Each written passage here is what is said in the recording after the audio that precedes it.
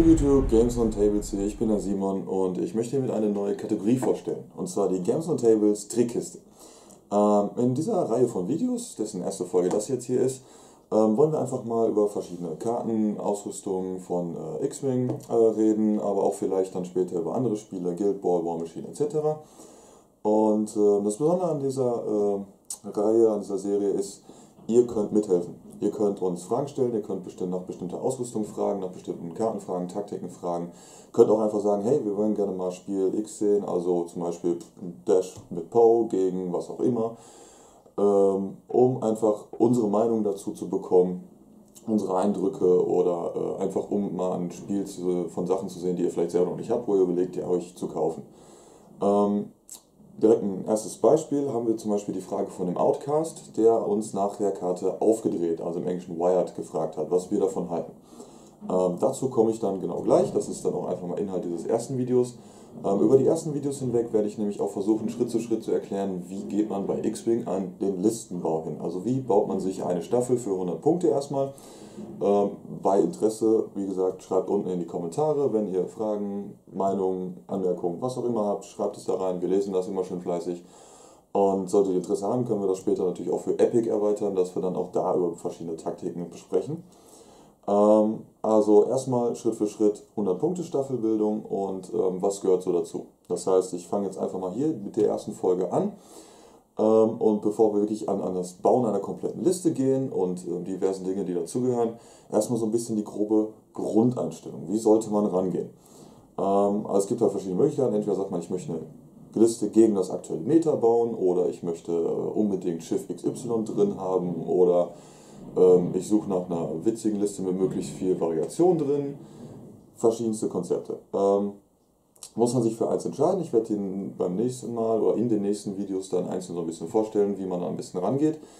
Ähm, grundsätzlich, und deshalb, das ist ja der Inhalt dieses Videos, wie analysiert man eine Karte? Also wie überlegt man, was kann die Karte, wie kann ich sie einsetzen, wo kann ich sie am besten gebrauchen, äh, welchen Nutzen habe ich daraus? Und da ist eigentlich das aufgedreht ein perfektes Beispiel. Ähm, denn das ist eine Karte mit ja, einem Effekt, den ich eher skeptisch positiv sehe. Ähm, ich lese mal kurz den Text vor. Es ist ein Elite-Pilot für einen Punkt. Sobald du angreifst oder verteidigst und wenn du gestresst bist, darfst du eine oder mehrere Augen neu würfeln. So, das heißt, wir haben die Bedingung, man muss einen Stressmarker haben und den Effekt, man darf dann Augen neu würfeln.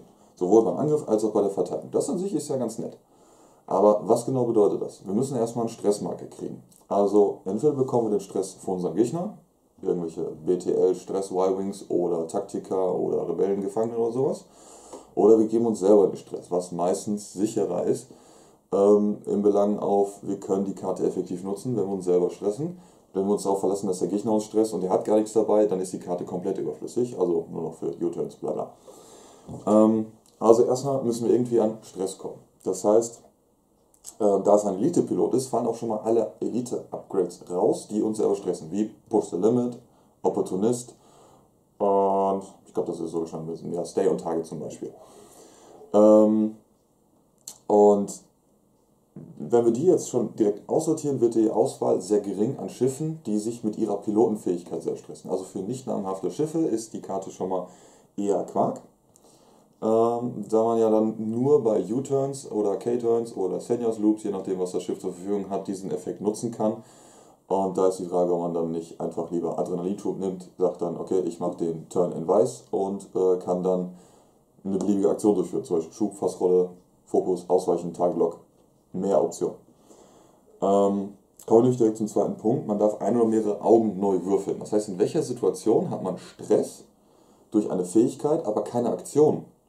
Indem man einfach Fokus nimmt und alle Augen in der Folge dreht. Ähm, ist eher selten, denke ich mal. Ähm, wird jeder wahrscheinlich in Erfahrung gebracht haben.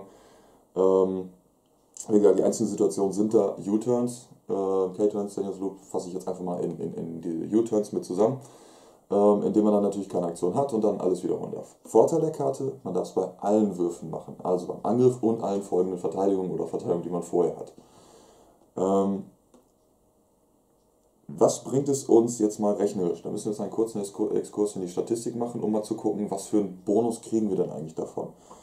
Ähm, und jetzt gerade mal auf Verteilungswürfel gemünzt, dann gehen wir mal davon aus, dass wir irgendwie, ähm, Beispiel, Zeta 1 benutzen, ähm, der eigentlich relativ prädestiniert für die Karte ist, ähm, haben wir trotzdem unsere Aktion noch, nutzen einen Fokus, um unseren Angriff irgendwie zu fixen und ähm, wollen dann das aufgedreht eher für die Verteidigung nutzen. Also kurze Erinnerung, Zeta 1 sagt, sobald du angreifst und falls du nicht gestresst bist, darfst du einen Stressmarker erhalten, um, zusätzlichen um einen zusätzlichen Würfel zu werfen. Das heißt, für einen Stress kann er, hat er einen Angriffswert von 3 oder auch 4 in Reichweite 1.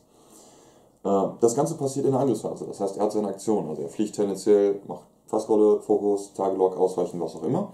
Ähm, ich persönlich bevorzuge dann einfach Fokus, denn bei drei Verteidigungswürfeln ist Fokus, Ausweichen rechnerisch fast das gleiche. Ähm, nur hat der Fokus halt ein bisschen mehr Varianz nach oben quasi. Und beim Angriff, Fokus kann man halt auch beim Angriff nutzen, kann man ihn dann benutzen, um halt diese drei Angriffswürfel an Schaden auch durchzubringen, beziehungsweise in Schaden zu verwandeln. Ob sie dann durchkommen, ist natürlich noch eine andere Sache. Das heißt, man fliegt und hat einen Fokus. So, dann kommt die Schussphase, man gibt seinen Stress, äh, man nimmt seinen Stress, um einen extra Angriffswürfel zu geben, schießt und gibt tendenziell seinen Fokus aus. Das heißt, man möchte aufgedreht für die Verteidigung nutzen. Denn es kommen ja wahrscheinlich ab Kilometer 7 noch ein paar Angriffe hinter ihm äh, dann auf ihn zu, die er am besten mit seinen vier Lebenspunkten, drei Wendigkeiten noch irgendwie versucht zu überleben. Ähm, also, Exkurs Statistik. Was bedeutet aufgedreht bei einem Verteidigungswürfel? Wir haben bei einem Verteidigungswürfel zwei Seiten mit einem Auge drauf, drei Seiten mit Leerseite, drei Seiten mit Ausweichsymbol. Das heißt, wir haben eine Viertelchance auf ein Auge mit jedem Würfel. Also eine Viertelchance mit jedem Würfel, diese Fähigkeit überhaupt zu nutzen. Ähm, dann, wenn wir diesen Würfel neu werfen, brauchen wir ein Evade, weil wir haben ja keinen Fokus, sonst hätten wir direkt das Auge ausgegeben. Also, wenn wir den Würfel neu werfen, haben wir eine 3 Achtel Chance auf ein Evade. Also ist für einen einzelnen Würfel der effektive Nutzen von Wired ein Viertel mal 3 Achtel, also 3 32 also ungefähr ein Elftel.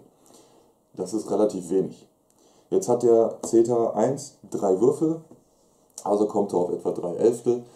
Ähm, kann man grob runterrechnen, ist dann etwa äh, 3 Elftel, soll ich kurz rechnen, ungefähr ein Viertel.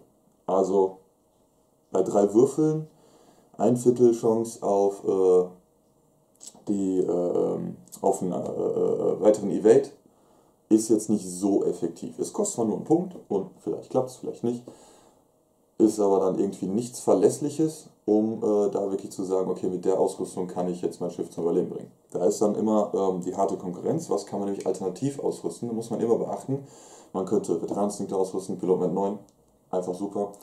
Äh, Meister auf den Schuss, Gegner einen Evade wegnehmen, geht zwar nur einmal im Spiel, kann aber einfach da einen, einen Schadenspunkt oder ein Crit sein, der an den Schilden vorbeikommt oder sonst was. Ähm, muss man halt immer, immer abwägen. So, spinnen wir das Ganze jetzt mal weiter, sagen, okay, wir wollen jetzt aber wirklich aufgedreht auf Zeta 1 nutzen und geben ihm einfach noch ein Stealth-Device. Dann hat er nochmal einen Würfel mehr. Rechne, rechne, rechne. Kommen wir insgesamt dann auf eine 3 Achtel Chance äh, äh, insgesamt, also ein 3 Achtel Evade, den er durch aufgedreht bei jedem Verteidigungswurf kriegt. Beziehungsweise nicht bei jedem, eigentlich sogar nur beim ersten, denn wenn man mit dem Stealth-Device ja nicht erfolgreich allen ausweicht, ist es weg und danach hat man wieder nur drei Würfel. Ähm, also kann ich da schon mal relativ schnell zusammenfassen, dass ich persönlich von aufgedreht nicht sehr begeistert bin. Äh, ich habe es auch im Spiel getestet und ähm, das ist jetzt natürlich ein Extremfall, aber ich habe trotzdem prompt einfach mal vier Leerseiten gewürfelt. Der bringt mir weder aufgedreht noch das Stealth-Device was, also ist Theta 1 dann ziemlich hinüber. Ähm, aber einfach die Statistik, klar, es ist nur ein Punkt, es ist nicht viel, aber für den einen Punkt kann man so viele andere Optionen wahrnehmen. Oder vor allem, wenn man den sagt, den Schritt, okay, dann nehme ich noch das Letzte, was so sind schon insgesamt vier Punkte, die man Ausrüstung reinpumpt, um die Defensive zu pushen, wo man eventuell für weniger Punkte die Offensive deutlich effektiver pushen könnte und andere Schiffe dazu spielen könnte. Denn gerade Zeta 1 ist mit seinen 20 Punkten Basis einfach sehr bestechend darauf, mehrere Schiff, verschiedene Schiffe dazu zu spielen. Ähm, also so die Herangehensweise analysieren, die Karte was kann sie, unter welchen Bedingungen kann sie es, wann treten diese Bedingungen auf. Also, wir sind immer noch in dem Aspekt, das aufgedreht funktioniert am besten, wenn man sich selber den Stressmarker hinzufügt. Und jetzt habe ich mal einfach meine ganzen Pilotenkarten und im Internet weiter geguckt, was gibt es denn noch für Piloten, die sich selber effektiv stressen. Ähm, Scum? Gar keiner. Beim Imperium habe ich neben Zeta 1 nur einen weiteren Piloten gefunden, bei dem aufgedreht noch grob Sinn machen könnte, und das ist Tetran Kaul. Wenn euch der Name nicht sagt, wundert mich nicht, spielt keine Sau. Äh, ist ein Interceptor für 24 Punkte, Pilotenwert 7. hat einen Elite-Pilot, was nicht so wahrscheinlich ist bei Interceptoren, denn manche von den Elite-namhaften haben zum Beispiel keinen und brauchen dringend einen. Ähm, Tetron Cowles Fähigkeit ist immer, wenn er einen U-Turn aufdeckt, kann er das Manöver mit einer Geschwindigkeit von 1, 3 oder 5 ausführen. Das heißt, er legt einen 5er U-Turn zum Beispiel hin oder einen 3er. Interceptoren haben ja die beiden Manöver. Und kann sich dann je nach Situation aussuchen, welches nimmt er dann tatsächlich. Er kostet 24 Punkte, Pilotenwert 7, ist halt ein Interceptor, 3 Angriff, 3 Dodge, 3 Hülle. Preis-Leistung ist okay bisschen teuer, was man schon dadurch gemerkt hat, dass die ähm, Royal Guards ähm, halt für 22 Punkte mit Pilotenwert 6 und einem Elite Pilot auch rumkommen, also 2 Punkte billiger für einen Pilotenwert weniger. Ist ungefähr äh, ein Verhältnis. Die Fähigkeit hat einen Nutzen. Ähm, ich weiß nicht, ob ihr da schon mal drüber nachgedacht habt. Also meistens kann man es bei den Schiffen erkennen. Ein Punkt pro Pilotenwert. Und wenn man eine Fähigkeit dazu bekommt, die Nutzen hat, kostet sie auch einen Punkt. Hat die so einen sehr starken Nutzen, manchmal sogar mehr. Ähm, Beispiel äh, Major Reimer war es, glaube ich, der Bomber. Ähm, hat sie keinen effektiven Mehrwertnutzen, Beispiel Prince Xizor, ist die Fähigkeit kostenlos. Ähm, kurze Erinnerung, Xizor hat ähm, ein Pilotenwert mehr als Guri, kostet auch nur einen Punkt mehr als Guri. Ähm, wenn ich mich recht erinnere, ne, hat zwei Pilotenwert mehr, genau, Guri hat fünf, Xizor hat sieben, er kostet aber nur einen Punkt mehr, das heißt die Fähigkeit ist quasi kostenlos. Ähm, weil Guris Fähigkeit halt einen Punkt kostet. Guri kriegt ein Fokusgeschenk. Xizor sagt, ich lenke einen Schaden um. Der Schaden verschwindet nicht, der Schaden ist noch da. Das heißt, rein schadenstechnisch, mathe-technisch, rechnerisch äh, ändert sich da nichts. Es ist nur eine Umverteilung. Das heißt, tendenziell überlegt Xizor länger, also ist es schon eine gute Fähigkeit, um ihn am Leben zu halten. Aber es ist kein Gewinn, weil irgendein anderer muss dafür den Schaden nehmen und eventuell stirbt der dann irgendwie schneller. So, ähm, also einmal zum Thema zurück. Tetran Kaul hat eine Fähigkeit, die hat einen Nutzen, und zwar kann er, sobald er sein Manöverrad aufdeckt und einen U-Turn erlegen hat, die Geschwindigkeit ändern. Ähm, da er eh schon 3 und 5 zur Verfügung hat und man tendenziell auch eigentlich gerade in höheren Spielniveaus oder auf Turnieren äh, ähm, gut einschätzen kann, wo der Gegner hinfliegt, muss man da jetzt nicht unbedingt dann zwischen 3 und 5 wechseln. Ähm, kann natürlich passieren, Gegner macht mal ein unerwartetes Manöver und man würde bumpen oder etc. Dann ist es gar nicht schlecht zu wechseln. Deutlich interessanter ist es allerdings, die Geschwindigkeit auf 1 zu senken einen ganz kurzen U-Turn zu machen. So, und da er diese Fähigkeit hat, wird er natürlich tendenziell öfter einen U-Turn fliegen und diese Fähigkeit zu nutzen. Und da ist dann aufgedreht besonders reizvoll, da er drei Angriffswürfel und drei Verteilungswürfel hat, um die ähm, Würfel entsprechend noch ein bisschen zu fixen, um die Augen neu zu würfeln und eventuell noch hier und da einen Evade oder einen Hit hinzuzubekommen. Äh, bei Angriffswürfeln ist die Statistik ein bisschen angenehmer, da es ja drei Hits und ein Crit gibt und nur zwei Leerseiten. Also hat man dann beim Reroll eine 50-50 Chance äh, statt der 3 Achtel Chance auf einen neuen Erfolg, auf einen neuen Hit. Ähm, kann man also bei ihm überlegen, ihn für 25 Punkte Pilotman 7 mit aufgedreht zu spielen. Man kann aber auch überlegen, ihn wieder mit Veteransdingen auszurüsten, um zu sehen, wo fliegt der Gegner hin, um dann passend seinen U-Turn zu wählen. Ähm, oder mit Adrenalinrausch, um zu sagen, hey, ich mache den U-Turn einfach weiß und nehme mir einen Fokus oder ein Ausweichen oder booste nochmal diverse Möglichkeiten. Ne? Immer im Hinterkopf behalten, was sind die Alternativen. Aber ich denke, mit aufgedreht kann man Tetran Cowell einmal ausprobieren. Ähm, dann habe ich auch mir die Rebellen angeguckt. Ähm, ich spiele sie zwar selber nicht so aktiv, habe aber auch ein paar Rebellen, habe sie auch hin und wieder gespielt. Ähm, und da ist mir eigentlich auch nur ein Pilot ins Auge gefallen, der ähm, Stress bekommt und dann mit aufgedreht arbeiten könnte. Denn wenn man jetzt kurz mal überlegt, ähm, Ibitisan, wenn sie Stress hat, darf sie eh immer Würfel wiederholen, also ein. Äh, ja, könnte man aufgedreht überlegen, macht aber nicht so viel Sinn, weil sie eh schon quasi einen Reload hat. Da wird die eher versuchen, mit ähm, der Milite-Piloten mehr Schaden zu machen oder etc. Ähm, Kane Fallener ist Quark, kann man glaube ich direkt äh, feststellen. Der gibt seinen Stress aus, um alle Augen in der Folge zu drehen. Also warum sollte man vorher die Augen neu würfeln, um dadurch potenziell leer sein zu haben? Macht auch keinen Sinn. Sonst sind nicht so viele bei den Rebellen, die sich selber Stress geben. Jetzt kann man noch äh, überlegen, ähm, mir fällt sein Name gerade nicht ein, der ähm, A-Wing-Pilot mit, er kann Aktionen durchführen, auch wenn er gestresst ist. Ja, okay, und A-Wings können ja zwei Elite-Pilots haben. Ich weiß nicht, ob er fest schon einen hat, kann sein, dass er nicht einen hat, da braucht er eh Push the Limit. Ansonsten kann er zwei haben, dann vielleicht noch aufgedreht oder direkt aufgedreht, er fliegt einen U-Turn und freut sich einen Keks, aber Das ist aber die Sache, er hat eine Aktion, er hat einen Fokus, also wird er tendenziell seine ganzen Augen wieder ausgeben durch den Fokus und Erfolge drehen. Also auch da nicht ganz so wichtig. Bei wem es mir aber aufgefallen ist, wo ich es nicht schlecht finde, ist Jen Ors. Ähm, ihre Fähigkeit ist, einmal zur Erinnerung, HWK, ähm, wenn ein anderes freundliches Schiff in Reichweite 1 bis 3 angreift und du keine Stressmarke hast, darfst du einen Stressmarker nehmen, damit dieses Schiff einen zusätzlichen Angriffswürfel erhält. Ähm, Pilotenwert 8 ist hier tatsächlich von Nachteil. Denn sie kann ihre Fähigkeit nur auf andere nutzen. Und das heißt, man muss andere Schiffe spielen, die vor ihr schießen. Also mindestens Pilotenwert 8 haben und dann bei, gleicher, äh, bei gleichen Pilotenwerten vor ihr dann schießen damit sie einen Stress bekommt, bevor sie selber dran ist, um es auch offensiv zu nutzen. Denn dann ist der Trick, wenn wir zum Beispiel Luke Skywalker oder Paul Dameron dazu spielt, äh, oder Corin Horn, etc., etc., ähm, denen einen extra Angriffswürfel zu geben. Jen Aus bekommt Stress und hat dann zum Beispiel eine Twin Laser Turret äh, ausgerüstet und kann damit aufgedreht bei den beiden Angriffen und danach ihren Verteidigungen halt entsprechend Augen neu würfeln. Ähm, kann man halt überlegen, hat da einen gewissen Nutzen, der Punkt ist nur, Jen Oz ist schweineteuer. Bei ihr trifft nämlich genau das zu, was ich vorhin beschrieben habe. Ihre Fähigkeit hat sogar einen starken Nutzen und deshalb kostet das nicht nur einen Punkt die Fähigkeit, sondern ein paar mehr. Also wenn man das mal mit, mit Kai Katan oder anderen HWKs vergleicht, springen ihre Punktkosten doch da stark in die Höhe. Und ähm, das macht sie dann leider etwas ineffizient. Also wenn man sie mit einer Twin Laser Turret und aufgedreht ausrüstet, ist sie schon bei 32 Punkten. Also ist schon ein Drittel der Staffel weg. Dazu noch ein Paul Dameron und Luke Skywalker mit einigermaßen sinnvoller Ausrüstung aufzustellen, wird schwierig. Ähm, und das sind auch schon die einzigen drei Piloten, die ich gefunden habe, bei denen ich sagen würde, aufgedreht macht Sinn. Ähm, wie gesagt, das ist halt meine Meinung. Es kann auch Leute geben, die sagen, ey, nee, das ist voll super, ich würfel voll gerne, würfel neu, um halt dann die Chancen noch Erfolg zu haben. Ähm, ich gehe leider lieber, oder was heißt leider, also für meine persönliche Spielweise ist es eigentlich besser, auf eine sichere Schiene und versuche halt einen direkten Nutzen zu haben. Also entweder direkt irgendeinen äh, Ausweichen dazu zu bekommen, direkt einen äh, Hit dazu zu bekommen, irgendwas, was direkten Nutzen hat. Also ich weiß, ich nutze es und dann habe ich Effekt XY.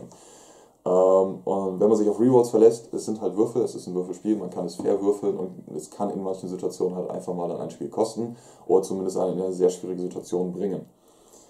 Ähm, also so viel zum Thema aufgedreht und dann nochmal einmal zurückgreifend auf ähm, die Rangehensweise. Ihr habt es jetzt vielleicht ein bisschen mitbekommen. Äh, ich habe das Ganze jetzt hier relativ spontan gemacht, das ist ein bisschen unstrukturiert vielleicht. Ähm, da werde ich mir nächstes Mal mehr Mühe geben. Ähm, also zum Aufgeregt. Wir gucken, was für ein Slot ist es, was ist die Konkurrenz in dem Punktebereich oder auch vielleicht mal plus minus ein Punkt. Was für einen Effekt hat es und was für Zusatzkosten hat es. Also hier ist ja die Bedingung, wir müssen Stress haben und der Effekt ist, wir dürfen Augen neu würfeln. Und da ist halt dann wieder schon, also es ist einfach bei dieser Karte sehr offensichtlich, wo kriegen wir diesen Stress her? Denn sonst kriegt man Stress durch Elite-Pilots. Mir ist jetzt spontan keine Crew irgendwie bewusst. Es gibt zwar noch den R2 Astro mit Ich nehme Stress, du kriegst Stress, den Stressbot halt, R3, R2 oder irgendwie sowas. Ähm, aber welches Astromech-Schiff hat noch einen Elite-Pilot dazu? Sind eigentlich dann wieder nur äh, A-Wings und E-Wings, äh, X-Wings und E-Wings. Und ähm, die wollen dann eigentlich eher nicht sich selber großartig stressen, weil sie lieber, keine Ahnung, mit Jagdinstinkt arbeiten und Schaden fahren und äh, dann ein R2D2 nutzen, um sich länger im Spiel zu halten. Also kann man echt sagen, das sind so die einzigen drei Kandidaten, die ich gefunden habe. Zeta 1, Tetran Cowell und Jen Oz. Und ähm, bei denen kann man es überlegen, um sie irgendwie kostengünstig zu halten, aber es ist, lohnt es sich halt wirklich hat man wirklich einen Mehrwert davon. Und da ist dann halt wieder die Statistik, die man ranführen muss. Ähm, pro Verteidigungswurf bei CETA 1 hatten wir was vorhin gesagt, ähm, ist es eine 3 Achtel, nee, äh, ist es doch was 3 Achtel, nee, pro Verteidigungswürfel ist es ähm, eine Elftelchance, genau mit 3 Verteidigungswürfel ist es ähm, die 3 Elftelchance, ähm, ja, also was grob ein, grob ein Viertel Evade, genau, so ein das vorhin. Gruppenviertel Evade pro Verteidigungswurf. Also müsste ja schon viermal ausweichen, damit er wenigstens einmal durch Wired ein extra Evade bekommen hat. Und wenn man viermal mit so einem Schiff versucht hat auszuweichen bei vier Lebenspunkten, kann es einfach sein, dass er schon weg ist. Ähm, also, das ist schon äh, im Grunde soweit der Schritt für dieses erste Video. Ein bisschen konfus, entschuldigt das. Ich versuche es demnächst ein bisschen strukturierter zu machen. Ähm, aber das sind dann auch so meine Gedanken zu aufgedreht und gleichzeitig so eine Erklärung, wie geht man halt ran, wie analysiert man so eine Karte auf ihren Nutzen, ähm, guckt nach Kombinationen, wie kann man sie einsetzen. Und jetzt, wenn man jetzt gerade halt hingeht zu CETA 1 mit aufgedreht, möchte man einfach so hinlegen, 21 Punkte, sagt, okay, das reicht mir, keep it simple. Kann man natürlich dann auch hingehen, okay, wie baue ich meine Liste drumherum? Ich habe jetzt noch 79 Punkte frei, was mache ich damit? Ähm, dazu komme ich dann aber in den nächsten Videos. Ähm, kleiner Spoiler, ich werde im nächsten Video über Firesprays reden. Äh, ich habe da wieder ein bisschen Spaß dran gehabt, ein paar Kombinationen ausprobiert. Im Wesentlichen Scum Firesprays, werde aber auch kurz was zu Im-Firesprays dann sagen. Ähm, das ist dann so als groben Inhalt fürs nächste Video. Äh, hoffe, es war irgendwo interessant, lehrreich und nicht zu durcheinander. Und wie gesagt, wenn ihr nochmal also was heißt nochmal, wenn ihr ähm, irgendwelche Meinungen von mir hören wollt zu Karten, zu vielleicht auch Taktiken, sonstigen Sachen, äh, schreibt es in die Comments. Ich lese das, ich greife das auf, ich werde es in den nächsten Videos mit aufgreifen. Äh, wenn ich mir selber nichts überlegt habe, bin ich sehr froh drum, wenn ihr da was reingeschrieben habt, dann kann ich mich da ein bisschen dran orientieren und solche Sachen aufgreifen ähm, um einfach dann jetzt hoffentlich regelmäßig äh, euch mit ein paar Videos zu versorgen in Bezug auf X-Wing-Taktik oder halt, wie gesagt, auch bei anderen Spielen sollte da Bedarf bestehen. Ähm, ja, das ist soweit für dieses erste Video. Games on Tables Trickkiste ist geöffnet und wir kramen da jetzt immer wieder was raus. Also wünsche ich äh, äh, viel Spaß bei den nächsten Videos, die dann kommen werden. Hoffe auf eure äh, ähm, Antworten, auf eure Anmerkungen, Kommentare. Und äh, ja, danke fürs Zugucken und sage bis zum nächsten Mal.